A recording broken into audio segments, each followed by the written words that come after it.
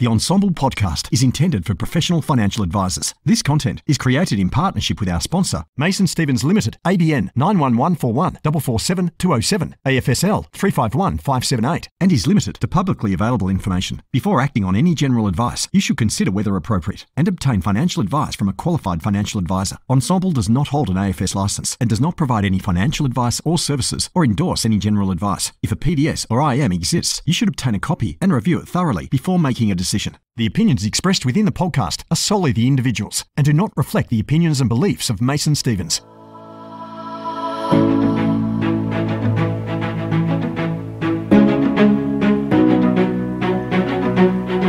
Hello and welcome. My name is Brendon Dade, Senior Financial Advisor at Lorica Partners. Thank you for joining me on this deep dive into all things investment committees. We'll be talking about how to start one, how to make the most of this part of an advice business, and some of the best practices uh, that go into making these work really well. It will be a four part series where we hear from some of the leading minds about how to make investment committees work. Thanks for joining me. This series is brought to you by Mason Stevens, a specialist wealth platform provider that focuses on managed account solutions.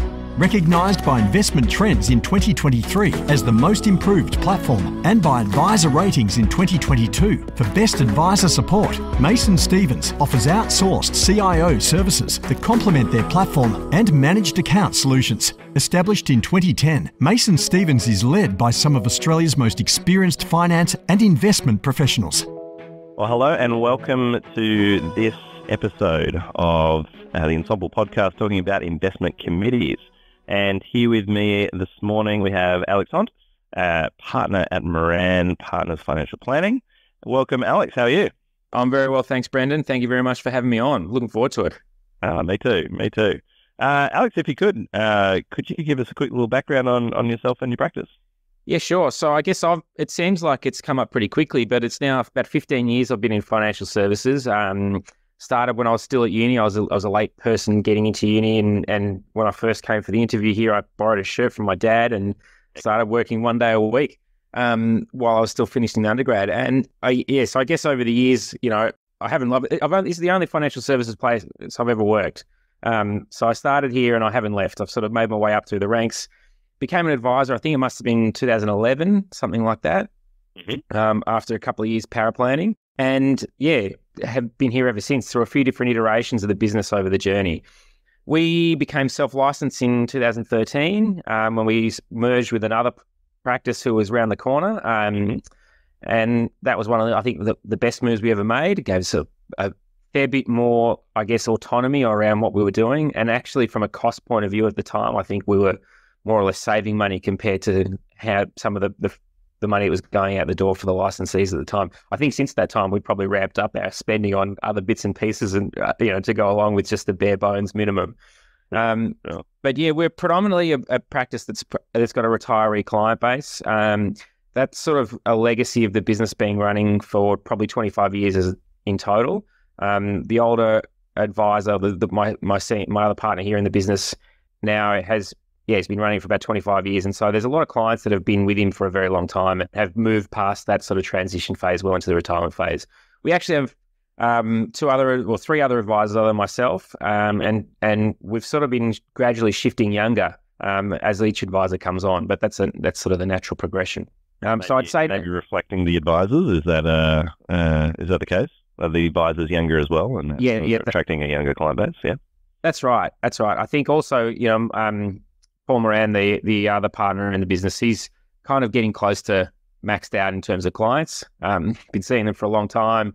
Um, still get a lot of referrals from existing clients, but he's sort of pretty much getting into capacity. So there's more room for for for the rest of us to take on those clients as well. Um, but yes, as you as you say, you know the rest the, the, other advisors are all a little bit younger and therefore tend to attract some of the younger clients. So um, we, we do have a bit of a mix. There's a big focus on the retiree clients, which I'll sort of come back to, which feeds into the investment philosophy and, and the investment committee stuff later on.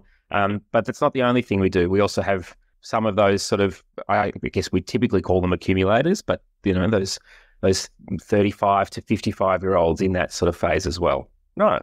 Oh, excellent.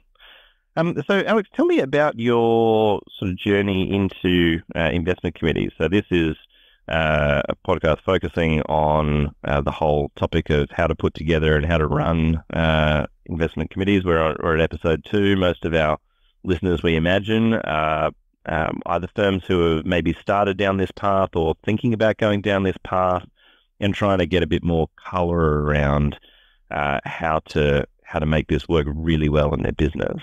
Um, could could you maybe take me to the start of where the investment committee journey began for you guys? Perhaps it was I don't know. Was it when you when you started and merged with that self licensed firm? How, how, did this all come about for you? Yeah, sure. So it, it's a an interesting way we got to the investment committee, and actually, it all starts with really the investment philosophy. And I'm sure you've probably covered that. I know that's been covered really well inside the Ensombl platform, and I think you contributed to one of the articles, the the white paper around building an investment philosophy. Um, and so, uh, coming back to practically how that worked for us is we were looking at some research out of the US um, around managing downside equity risk in portfolios. Given that we had quite a large retiree client base, managing downside risk was as a priority along with you know maximizing return. But for a lot of retirees, a lot of those clients that had been through the the I guess the, what we call the GFC, but the financial crisis in 2007 2008, um, when traditional portfolio wisdom said, you know, just sit and hold and don't do anything, don't make any rash decisions. And then uh, a lot of people tended to capitulate towards that. Um, was it March 2008? Uh, and, and, so we we had a look at this, and we were the same. And all of our clients that held firm have recovered and did quite well. And anyone that sold out was, you know, kicking themselves for a while. But we were looking at the research around managing that equity downside risk so that we could actually have something up our sleeve to be able to behaviorally reassure clients that we were taking some action, even if it wasn't necessarily to sell everything and go to cash. Yeah. Right. And so behaviorally, they really liked this idea that there was a mechanism that would help at least reduce the the impact of these sorts of market shifts. So we were looking at dynamic asset allocation, and, and actually the paper we were looking at did say sell all of your equity allocation and go to cash, or and go in and out based on um, some triggers. We adapted that and looked at a dynamic asset allocation strategy where we would adjust the equity allocation in a couple of different tranches. So when we hit one one technical trigger, we would move some of the equity allocation. We either go we either go in or out. Um, and we also had some other rules in there that if we saw a 50% gain in equities in one year, we'd then take the conservative approach to take some profits. That that was sort of starting to build some rules around that that how we manage that portfolio. So Right. That's what I mean when I talk about a investment philosophy. We started to build this dynamic asset allocation investment philosophy, um, overlaid with a bit of a, a bias towards income. Mm-hmm. Uh, trying to run that dynamic asset allocation in the practice with ROAs was an absolute nightmare. I bet. Yeah. You, you, know, um, we I don't know how many clients we had, but it, you know, was probably a couple of hundred across the practice that we were trying to implement this for. And so we had, operationally we had to make a decision that we would put aside a day a day at the end of the month, um, or we, would review the decision, um, the, the triggers at a particular day in the month. Um, then we'd have to write the ROAs. Then we'd have, you know, wait for them to come back and then actually action them on an individual account basis. Back this is back in 2013, 2014. So yeah, right. Okay. A lot of the model portfolio functionality wasn't around back then. So this led us to look at what are the solutions we can look at here. And so managed discretionary account solution was the was the one that made the most sense. We could do all the trades in one go. We didn't need to write ROAs. It solved a lot of our problems. Now, when we went down the path of looking at how we were going to implement this, we didn't have a managed discretionary account license um, as part of our license. So we partnered with someone else who did. And they basically appointed us as the investment manager. But part of the requirements to be the investment manager on the MDA was to have an investment committee that met at least quarterly with an independent chair um, to review and and and make sure that we were running these in accordance with the, the charter that we also created as part of that process. Right. So that that's really where it started. That's how we got to the investment committee being implemented, um, and it was really in, in partnership. It was really because we wanted to run this these MDA portfolios, which has been a massive um, productivity improvement from a practice point of view. Yeah, right. Okay, so this is sort of a, it kind of came out organically for you, for you guys. You, you had an investment idea that sort of come, came to the forefront. Um, you wanted to make sure it was implemented as, as best as possible, and an investment committee was kind of a necessary structure or a necessary overlay um, to to make that idea work for for your advisors and, and for your clients ultimately as well. Yeah, so I think we we we sort of didn't have the investment philosophy formalized, um, and not, not formalized, but we hadn't. We, would spoken about it a lot.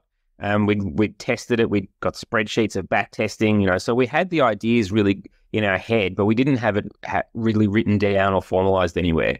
And so one of the great things about the about that that starting the investment committee was it forced us to formalize it a little bit more and actually adhere and actually have a have a bit more intentionality about creating it and then managing the portfolios rather than the oh I reckon we should do this this month. Not that there was that, but you know we, we were trying to make a rules based approach, um, but also that aligned with our kind of portfolio objectives and, and the values on there. Yeah, and, and I imagine, um, without putting words in your mouth, that uh, you know not everybody agrees with this from time to time. They might have a different perspective, and you need a way of coming to a decision, perhaps. Uh, yeah, exactly. I mean, uh, in that's part of the reason we have an independent chair and we like to have an odd number of members is so that somebody has the tie-breaking vote. yeah, you, are going to have to come with a decision somewhere, and uh, yeah, hopefully that person doesn't feel like they're to blame if it doesn't go right.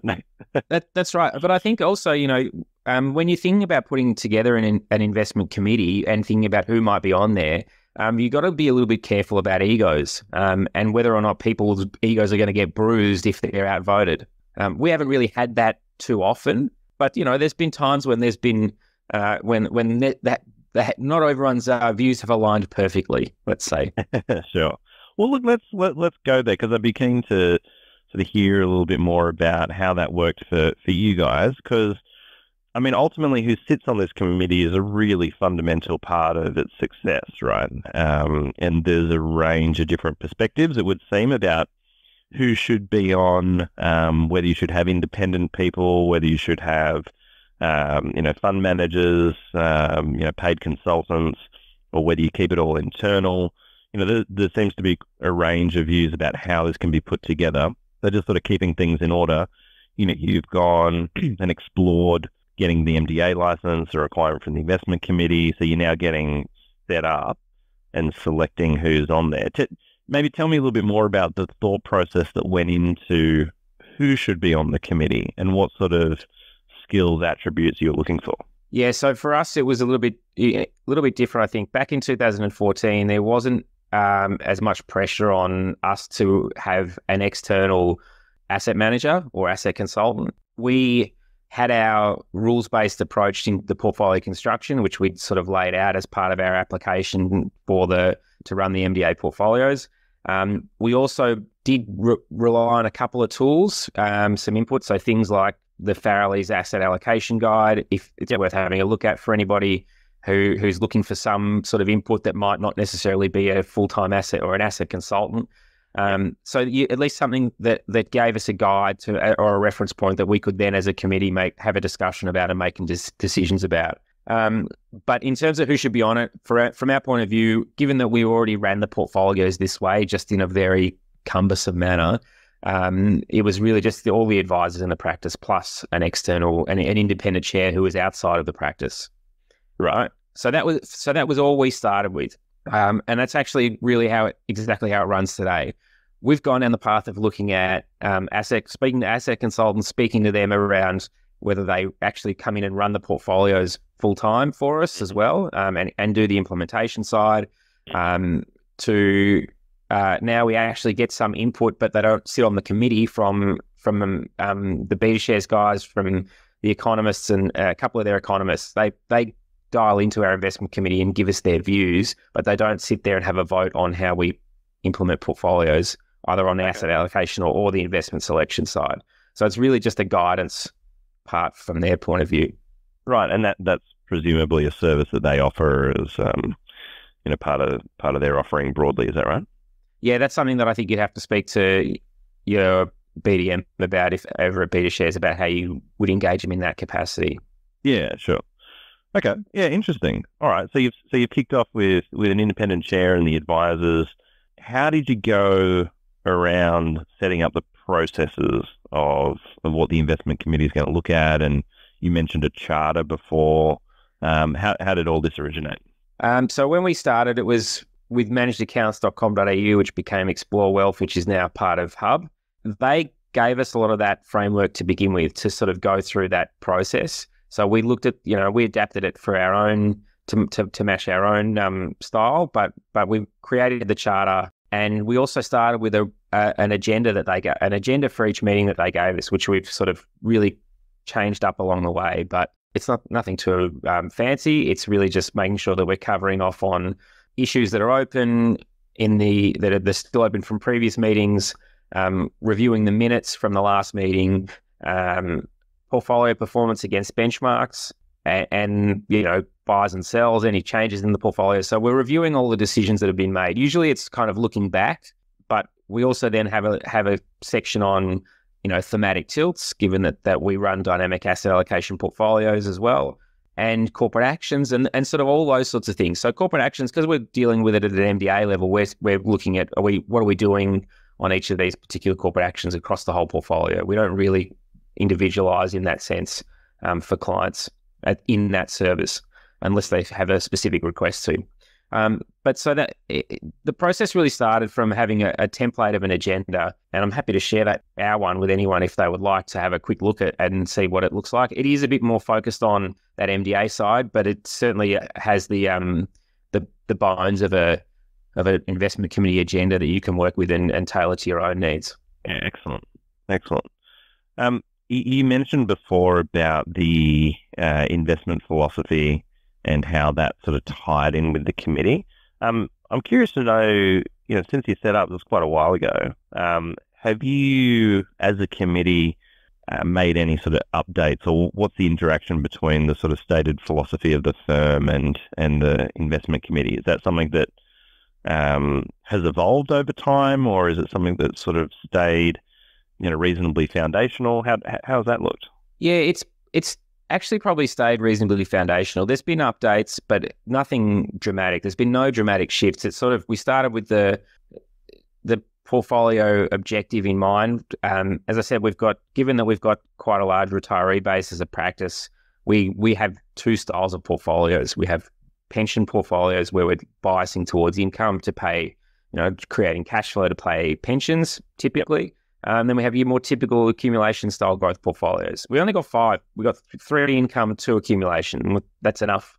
It covers pretty much all of the bases that we need for those model portfolio styles. There's always things that come up that that sit a little bit differently from you know um, people need individual or tailoring, but that's they're they're kind of our building blocks. And and so we haven't really had and the the objective certainly hasn't changed. It's more just around okay, maybe some of the portfolio construction rules have changed slightly with the times. Um, right. It's always had a dynamic asset allocation, which we adjust over time. But we, you know, as, as opportunities arise, but we actually haven't really. We've done one strategic asset allocation update in that sort of what are we eight nine year period. Yeah, right. Um, and even then, it was only relatively minor. It was just, that, you know, again, if, given that we've got an income focus in some of those portfolios, we bias a little bit heavier to Australian shares, or we get a bit more of dividend income and franking credits. Um, but so, but for the most part, it actually hasn't changed a whole lot. Uh, we we did do a lot of direct equities early on. Uh, we do a lot less of them now. Just time and expertise is not really where it's not really where we want to spend our time in that research and picking. But so we've got some other tools that we use to either help pick them or we've bundled them up in sort of smart beta strategies. Right, right, gotcha. So you're just going for those or more broadly targeting those factors in in the market that's easier and um, maybe more straightforward way to get exposure to. Yeah, excellent. Um, I'm curious uh, to talk a little bit more about the um, the the members of the committee and yeah. how and how the members sort of in, interact with each other. Um, you sort of said before about you, got to watch people's egos, and uh, advisors uh, often tend to have them to to some degree.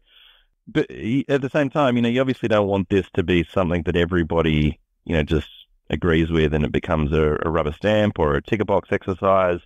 Can you talk to me a little bit more about how that balance has worked for you? And I don't know what's what's hard about that. What's what, what's easy about getting that um, mix right uh, within the committee itself.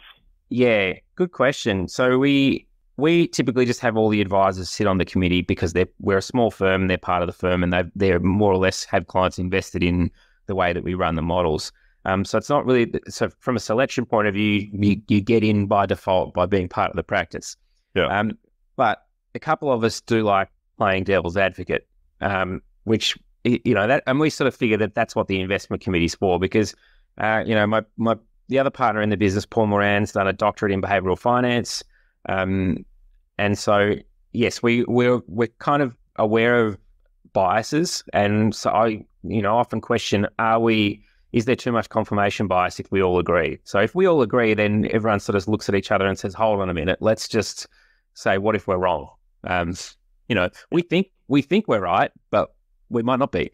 Um, so you, you're right. You don't want just a series of head nodding. Yep, everyone agrees. It's all. Yep, we must be right. Yep, this is all good. What you want is a bit of debate, even if you end up agreeing, it, and even if your starting point's an agreement. But we always like to tease out some of the the issues or, or challenges that we see in any of the changes we're making or potential changes we're not making. So I think that's always a bit of fun, and you need that's where you actually you need to have a little bit of ego because you you you want to actually have that argument you want to have you want people to share their views, um, but you also have to be able to accept. Uh, you have to be able to accept the decision of the committee if you're not on the right side of it. Yeah, yeah. So, what, what can you give me an example? You know, is, is there anything contentious that sort of comes to mind where I don't know? Is it usually around? Is it usually around that asset allocation piece? Is it about you know sort of econ, you know economic logic about what might be happening in markets? Where where does this sort of practically um, rear its head?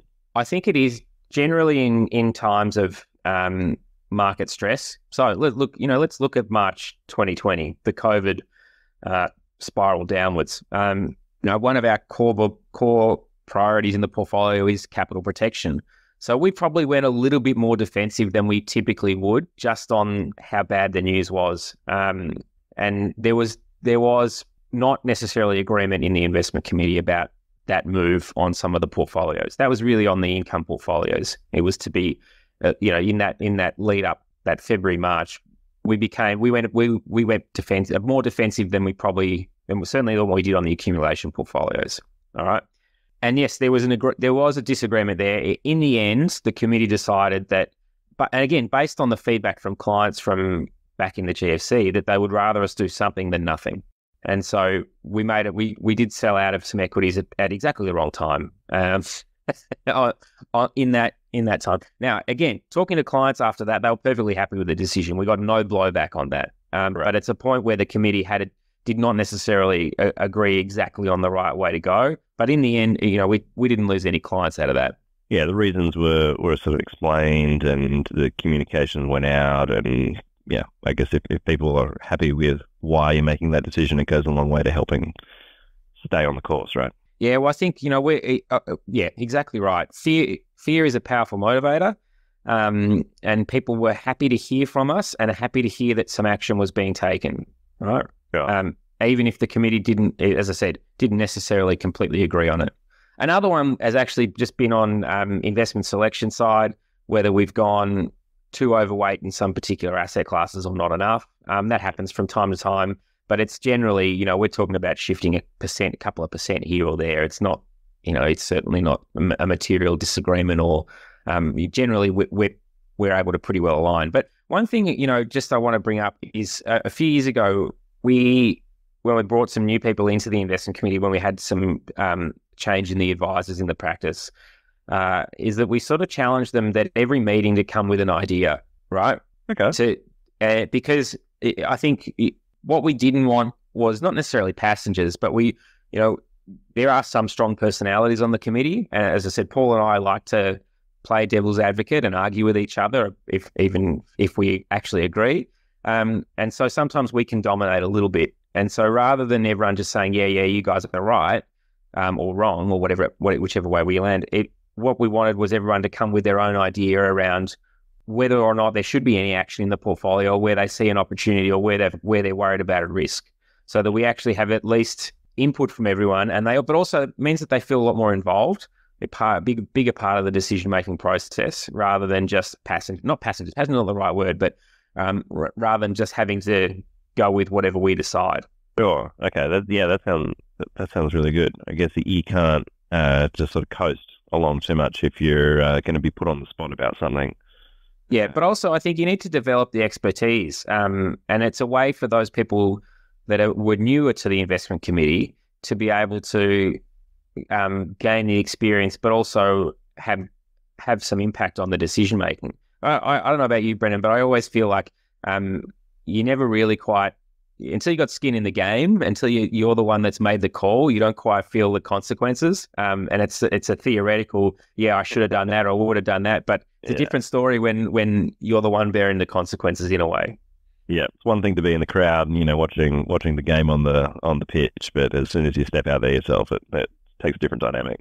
Absolutely. And how do you? So, what what's worked well for you as far as that upskilling process, right? Because as you know, as far as being on an investment committee, there's really no finish line as as far as expertise. Um, you know, markets change all the time, and um, there's always plenty to learn. Um, have there been any? Have there any been been any sources of education that you've utilised or other people on your committee have utilised that you that you really liked, that you thought worked really well, or um, you know, tell me how that looks for you guys. Yeah, sure. So I think there's a few there's a few things we read, we all read, um, which we all kind of like. So there's there's um, some commentary from people like Christopher Joye, which is always entertaining. Uh, David Bassanese. So there, there's a few people. So we we don't tend to read everything. We find there's a few things that we, a few people we think are on the money, or have some analytical view that that is goes a little bit deeper than others um, that we can sort of that resonates maybe a little bit more with us. So that, that's the first thing, and they're the kind of weekly things that you might skim. Um, so find, I'd say, find the things that resonate with you around how the world looks and how to help shape your view of, of the world in in markets and economics terms. Um, but then also, um, I really enjoy what you know. I love the investment side of things. That's kind of the fun part of this job for me. I mean, uh, you know, the, the client facing stuff don't get me wrong, that's the really rewarding part. But you know, the the other fun part is to learn about investment markets, investment performance, portfolio construction. So I, I usually attend um, a few of the portfolio construction forum events each year, and I find those really valuable in um, exposing me to a lot of dif- different people's analysis and forecasts um, and reads on what's happening, as well as other particular, you know, other potential strategies that might feed into how we run the portfolio, how to make it a little bit better. Um, yeah. So I think that's one of the more valuable ones. But yeah, I think there's a lot of uh, they're the ones that I pick partly because of time as well. You know, the portfolio construction, I'm happy to put aside a day or two, um, but it's certainly not. Uh, you know, it's hard to get away at for lots of little chunks of time sometimes as well. Um, and also, I think you know you can be a bit more present and, and try and soak in as much as you can in those days when you're not thinking, not trying to jump between tasks and and other sort of meetings. Um, yeah, but you, no, you're right. Great, Graham Rich and the uh, and the team do an excellent job over there for sure.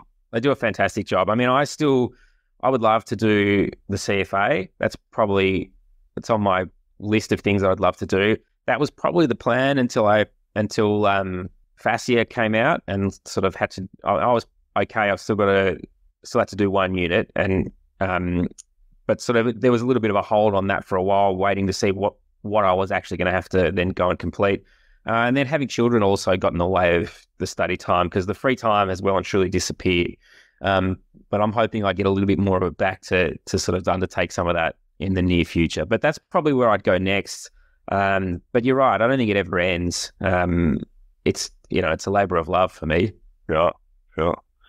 And um, it, tell me a little bit more about how the that time commitment has has looked for for you and your practice because yeah, advisors' world is always uh, pulled in, in a bunch of different directions. Um, so when sort of zooming back to when you started the committee and uh, maybe reflecting on where you're at now, how has that time commitment evolved? And, and maybe paint me a picture of what it might look like uh, on an annual cycle today.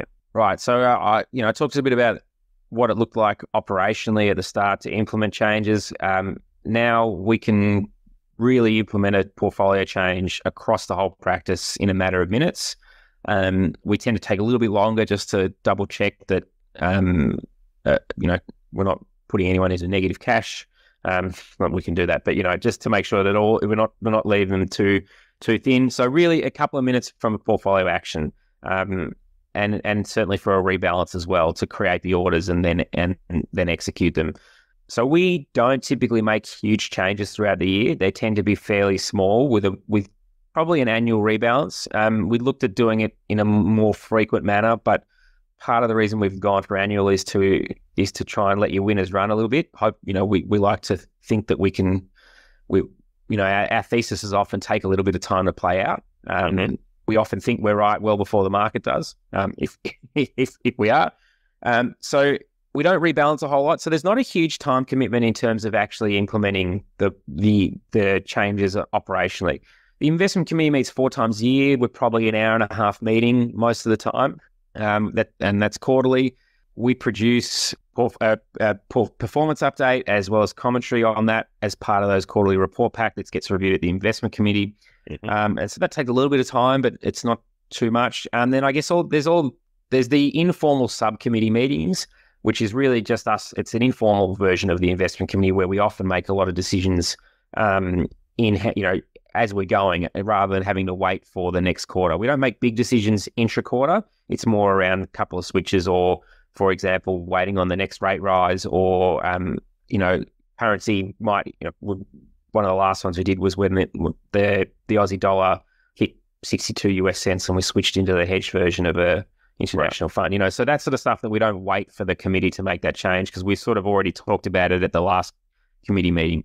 But we also do that inside of a Microsoft Teams channel, um, mm-hmm. which is a good way for everyone to first of all see to chat about it, um, see it, record it, and um, have that sort of audit trail in there for the that we can go back and look at in the committee as well. Right? Okay, cool. And is that is that sort of broken down as part of your charter then, perhaps that you you're head IC meeting is reviewing minor intra-quarter changes. Have you got perhaps you got some thresholds around what sort of decisions can be made at that level versus needs to sort of go up to the full IC and, and all that sort of thing? It's probably not a bad thing to have, but we don't have that in the charter. The, you know, given we did this in 2014, we we didn't have the tech tools that we have now, um, and and we were all in the office full time, five days a week, and would have um, sort of you know, still informal subcommittee meetings, and and back, back then we used to sit the uh, the phone and the audio recorder on the on there, and I don't think anyone's ever listened to them again. But right, so that's where something like the Microsoft Teams channel or Slack or whatever you want to use works really well. But it, yeah, we haven't updated the charter to to sort of reflect that. There isn't really a sort of a, a limit to what the subcommittee can do, a formal limit to what the subcommittee do. But given that we're all um, other than, other than the independent chair, we're all on the committee anyway. It hasn't really been an, a factor. Alex, I'm, I'm curious to know a little bit more about how this has looked for you uh, when engaging with uh, new uh, fund managers or, or investment partners. Um, I think what appeals to uh, a lot of advisors about having an IC is perhaps the structure that comes around uh, making assessments, uh, for for who might be included in the portfolio. I guess it also um, prevents your diary from being um, filled up with uh, with with BDM meetings uh, all, all day, every day. Um, can you tell me a little bit more about how that's looked for, for you guys in engaging with those new investment partners and, and how that looks? Yeah, sure. So, I mean, we we try and catch up with all of the investment managers in the portfolios at least once a year. Um, we try and schedule those very close to the quarterly investment committee meetings. And at times in the past, we've sort of said instead of the whole hour, you've got 15, 20 minutes um, to, you know, because we're, we just a bit short on time. But you're right. So uh, the other side of it is having everyone, having all the four advisors here on the investment committees. We want them all to be in the meeting so that we're all hearing the same thing. Um, rather than sort of just meeting with one or two. Um, in terms of how we assess them, we don't have exactly a, a, a, formal framework. However, it really comes back to the investment philosophy. And for things like, um, you know, cost, um, asset allocation, uh, you know, active versus passive, you know, what what are those things that that you prioritize, that we pro- that we prioritize um, in terms of the portfolio construction and the investment philosophy, and how does the investment manager fit in with those, as well as looking at um, where do they serve a purpose in terms of creating the portfolio outcome that we're looking for. So, is it diversification where we can sort of lower the volatility of the portfolio, where we still get a um, where it doesn't compromise the return. You know, those sorts of things where we might look at an alternative manager, or are we looking at an Aussie equity manager that that is looking at harvesting franking credits versus just an index fund, for example. Um, so we're really it's really aligned trying to align which investment managers are going to contribute to the portfolio outcome we're looking for. Um, but you but we don't have a formal uh, a formal process that we go through. Um, part of it gets sucked into our analysis as to then what does the total cost of the portfolio look look like? Because we're not we're not active or passive. We sort of sit in more of a core satellite with a smart beta kind of um, core, smart beta passive core, and then the the active sort of satellite approach. So th- mm. there's not. So it's really around where are they going to fit um, in the portfolio, and do, are they better than the um, incumbents? Not better, but are they going to be do a better job of meeting the portfolio objectives than the incumbents or not? Sure, sure. Um, I, I'm curious to know uh, having you know run this for you know the better part of a decade now, do you sort of look back on this part of your practice and and think, man, I really wish I did that differently? or was there? Can you point to any any decisions which you really would have changed at the time? And I don't really mean at a portfolio level because you know we we can all go back and find the low points and find the high points and, you know, pretend that we should have known what was going to happen next. But I just mean more in how you've made this sort of function of your business serve your advisors and, and help them serve their clients.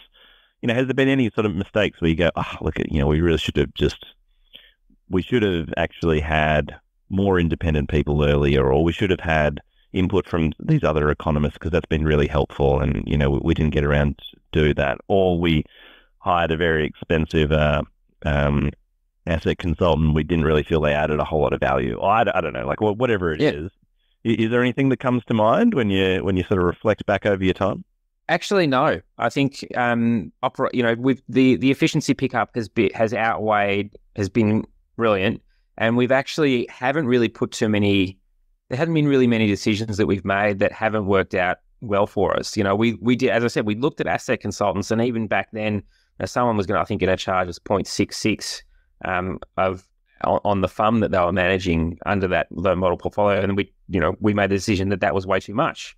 Um, I think these days it's probably more like 0.1 is what you typically find in that sort of space. So that that was a while ago, but um, right. So I, you know, I think that's one of the ones where I think we got it right, where we thought, mm, you know, as as appealing as their offer was outside of the cost, the cost the cost outweighed the benefit. And and in terms of other external parties, uh, look, I guess maybe we probably, if we had have been able to engage them a little bit earlier, that might have led to some better decision making um, in the early days, um, rather than relying more on the newsletter style things. But being able to um, discuss and and really get some insight from really very very smart and talented people um, would is would have been beneficial. And I think, but the, the ability to ask questions um, and really dive into it is um, is really valuable. So having someone you can bounce ideas off and say, "Hey, but what about this?" What and you know, a classic example is the last investment committee we were talking about um, you know, talking about fixed income, and I had a question about something or other that that that had come up reading someone reading something, and that you know the consultant said, "Yeah, but it's the valuation's wrong. Um, you know, the idea is right, but the valuation's wrong." And so having being able to have um, someone's expertise to to sort of help uh, direct and shape you know your views as well as uh, you know someone who lives and breathes it every day um, is is quite valuable. So that, I think that's probably the one I'd I'd say is engaging people that you think have a great handle on things um, and and and somewhat align with your views on how portfolios should be managed. Yeah, and, and I guess someone that you can trust their input around, you know, whatever challenge or shortcoming you might have internally, right? You know, no no business can know it all in house. Um, you, you got to be able to get some of that elsewhere. I think that's a great point because you know, as I said, but we, sometimes we think we're right, but um, we might not be and having someone to, to challenge your view or, or someone who um, can give a different contrasting point of view is really valuable, even if you don't necessarily change your decision, but at least you're, you might be made aware of the opposite side to that or the risks that you're missing. Yeah, sure. And uh, and one thing on that, um, because I understand it's quite common for um, for different fund managers to lend their expertise, and that can be great input into into committees to sort of round out um, round out the expertise within the group. Um, from a from a conflicts position, you know, how do you where do you draw the lines around sort of managing that for, for the committee because it gets a yeah potentially sticky, right? Yeah. So we we don't disclose to the guys at BetaShares what's in the portfolio, and they don't have any input on the investment selection. So there's there's there's no direct conflict in that sense where they're saying you should be in in this, and it's really more at an asset allocation level, and even I suppose on the fixed income side, it goes a little bit into the sub asset classes around how we manage that. But it, eh, yeah, you raise a good point, especially when you've got someone with a barrow to push um, who who's providing some advice. Um, and I think we've tried to manage that the best we can by sort of at least having that little bit of separation and not having any, not not giving them a seat at the table, right? Yeah. To to be able to either select investments or vote on how on the outcomes. It's really just a matter of providing an update and guidance. Um, but yeah, it, it, in that instance um, where you have a fund manager in there, that that's where you've got to be a little bit careful, I suppose. But I think there are a few there, are, you know, there are a few asset consultants that are removed from the fund management process that are able to at least give you a balanced view. Yeah, I think that's a spectrum, right? And and everyone's going to figure out how to manage that themselves. And yeah, for you guys to take take away the voting power and um, you know maybe remove them from the specifics about manager selection, then that that, but, for you guys. Look, there, you're right. There may be a conflict, but you know what? Sometimes that conflict might be in sort of name only. You might still be getting a fantastic outcome for both your clients um, and your business, and hmm. by partnering with a fund manager. And okay, sure, maybe there's a conflict that you might you you were required to use one or multiple of their products, but I don't necessarily think that that will always result make a terrible result for the clients. Mm. Um, so there, there's certainly still some benefit there, and I think as long as you're upfront about that, mm. say, yeah, we've partnered with this manager or this asset, you know, this this asset manager, um, to provide this sort of a service, which we wouldn't be able to provide otherwise, or we would have to provide at a much greater cost. Mm. Mm. Um, so it, yeah, I think it, as long as you're aware of it and you can rationalize it, um, and I think it's, I don't think it's always a terrible thing. Mm. Yeah, interesting. Um, I, am curious to know as well, um, Alex, as we sort of draw to a close, um, is, there any advice that you'd give to your 2013 uh, self? uh, firstly, and and say, you know, is there anything that you should you should think about ahead of sort of going down this path, um, which I know we've sort of already covered. Uh, but and also, secondly to that, what advice would you give someone who's sort of starting starting the journey, or or maybe might be on the fence about whether or not this is something they want to do uh, at all? Ooh, good question. Um, I think what advice would I give myself nearly ten years ago? Um, lean on someone for a really good agenda for the investment committee meeting if you're looking start that up, um, because you want to make sure that you're covering off all the bases. Um, find some good asset consultants or or some sort of input that you like and trust um, or have faith in. Um, and if you can find the people at a reasonable cost, get them involved. Uh, find someone who doesn't always agree with you, and you can have that open discussion without having hurt feelings.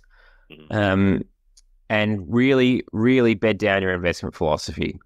I, I, don't think I can stress that enough. That that everything that you do at the committee level really comes back to what are you trying to achieve, and and the investment philosophy is a way that you can refer back to, and everyone can can really have a say in, or or at least uh, understand the decision we're making relate back to to this sort of. I would say formalize it in a document, and there's a few tools around that are really useful in in actually helping you articulate um, that sort of thing. So th- they'd be my top tips. If you're thinking about doing it, um, I think you've got to ask why are you doing it? Are you, you know, for us, it was all about the efficiency piece. And so if you're not going to run model portfolios, but you just want to have a consistent view across the practice around how portfolios should look. Um, which I think has probably been done at licensee level, you know, in the past where licensees sort of mandated this is what this is our our you know our risk profile and strategic asset allocation. Yeah. Um, you know, but I think if you want to have a bit more control and actually impart a bit more of your own investment knowledge or expertise or input, then this is a way to keep it a bit more consistent across advisors in the practice. And yeah, I think uh, you can have a bit more faith that that all portfolios will look more or less the same or similar. Um, and especially, you know, at a model portfolio level, it makes it much easier come review time to know what's in someone's portfolio. So, I mean, I think that all relates back to the investment committee part for us. Yeah, and, and like you say, it's the efficiency of getting those best ideas implemented and executed in someone's portfolio um, as Yeah. quickly as possible, right? Yeah. One other thing I just sort of mention is uh, have a think, have a think about the tools you want to use to actually implement it and run it. Um, so you know, if you're going to run model portfolios, you're going to run these asset allocation uh, models for even if they're not model portfolios, but you you sort of have a view on what a conservative or a moderate portfolio looks like. Um, have some sort of repository or some place where you can stick it and run reports on it. And you know, there's a few tools that we've used over the years that we've tried, things like Morningstar Direct, FE Analytics, and Lonsec iRate, um, and just work out which one is suits you, which research house you like, because that'll also play a bit of a part in which one you choose. But yeah, especially when it comes to say producing those reports, which are great communication tools with clients. We go, they go out to clients directly. Those sorts of things, that, you know, that that are a big time saver as well, as well as giving you the kind of information that you need to make proper assessments on um, the decisions that you've made at the investment committee level. And and what tools work for you now? What So we've we've gone through a few of them, um, but at the moment it's we're using Lonsec iRate. Um, so we we we track the portfolio performance in there, um, as well as so we've got we've you know we've got nearly ten years of history now of portfolio returns, and actually we've been able to migrate across different tools with with varying success um, as to how the data links from one to the other. But it's all you know just in terms of when you're looking at the portfolio breakdown and things, but. Um, Alex, this is where you should have said to you to your earlier self, just use this tool. And Yeah, but it didn't ex- it- transition. it didn't exist back then. They have all- ah, right. so many iterations. Um, Yeah, fair enough. and but yeah, if you can find a tool, uh, uh, that's one thing that's been from my end anyway. I've done, I've been the secretary. I'm, I've done every role that we have under in the investment committee, and, and done all the back end, uh, all the the back end admin. Um, so having a tool that is easy to use and easy to run reports from that don't take any sort of don't take too much work to customize and make it look like your own, um, and are reasonably accurate uh, as well is probably yeah you're right. That's probably the one the other tip I'd have. But yeah we're using Lonsec iRate at the moment um, and we can get a whole series of different data points and and and uh, out of that tool which gives us a bit of a view back on on what's happened and how the decisions have gone that we've made. I, I loved using both FE Analytics and Morningstar Direct. Some there were some limitations in in those and cost was an issue as well so it's about balancing how that work, how that looks. We're a relatively small operation, being only four advisors, um, and you know some of the costs started to blow up a little bit with some of those when you're getting into the nitty gritty when they're designed really for the big end of town fund managers. Yeah, yeah. Well, Alex, it's been an absolute pleasure chatting. Uh, thank you so much for, for sharing your, your wisdom and your experience in, in this space. Uh, we really appreciate your time. Thanks, Brendon. Really happy to be here.